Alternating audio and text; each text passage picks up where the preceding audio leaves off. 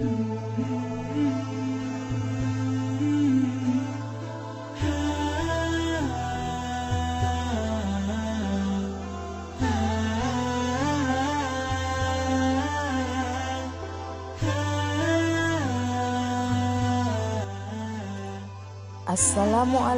warahmatullahi wabarakatuh sobat pejuang semua. 1400 tahun telah berlalu. Namun saksi-saksi sejarah akan perjalanan kenabian baginda Rasulullah Shallallahu Alaihi Wasallam masih tetap bisa kita saksikan hingga sampai dengan saat ini.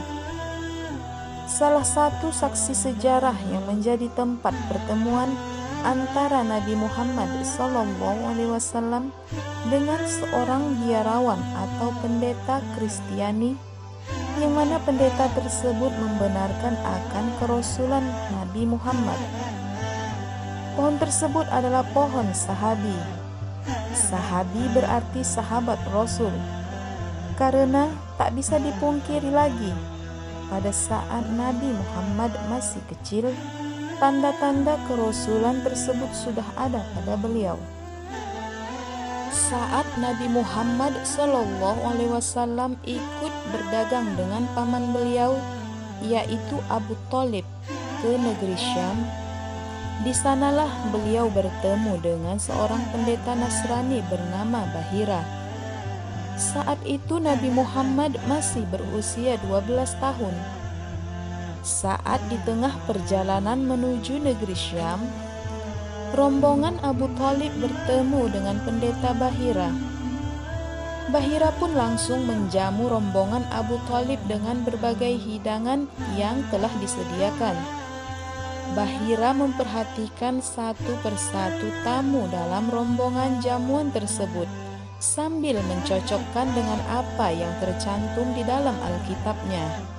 Karena risalah akan datangnya utusan Allah telah tertulis di dalam Alkitab.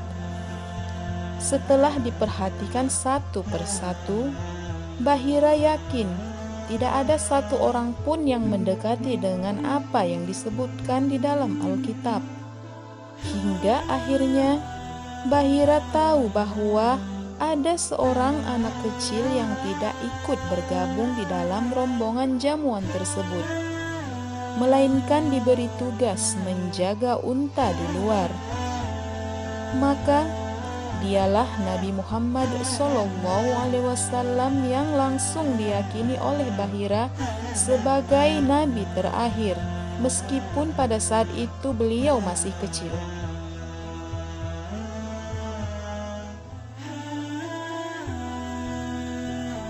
Pendeta Bahira mengatakan, tanda-tanda yang ditemukan akan kenabian pada diri Nabi Muhammad saat itu adalah menunduknya pohon sahabi, serta awan yang selalu mengikuti ke mana pun Nabi berjalan. Bahira pun memberi pesan kepada Abu Talib agar menjaga keponakannya tersebut dengan baik karena akan banyak sekali orang yang akan mengancam keselamatan Nabi Muhammad Sallallahu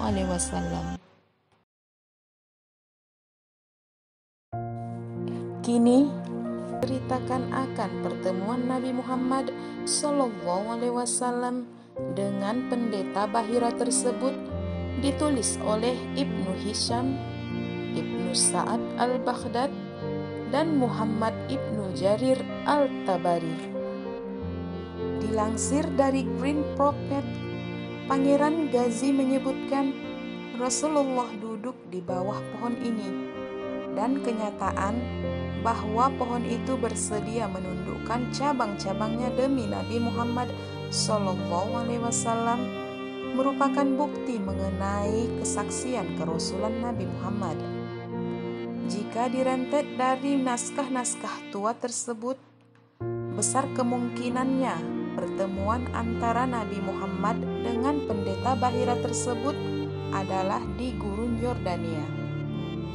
Sejumlah ilmuwan dan cendekiawan, termasuk ahli sejarah serta arkeolog, juga diminta untuk ikut memeriksa tempat tersebut. Menurut pengamatan mereka, memang benar pohon tua tersebut yang disebutkan di dalam catatan Bahira. Itulah tadi ulasan kami tentang pohon sahabi, the only living sahabi, sahabat Nabi Muhammad Sallallahu Alaihi Wasallam yang masih hidup hingga sampai dengan saat ini. Bayangkan saja umurnya yang telah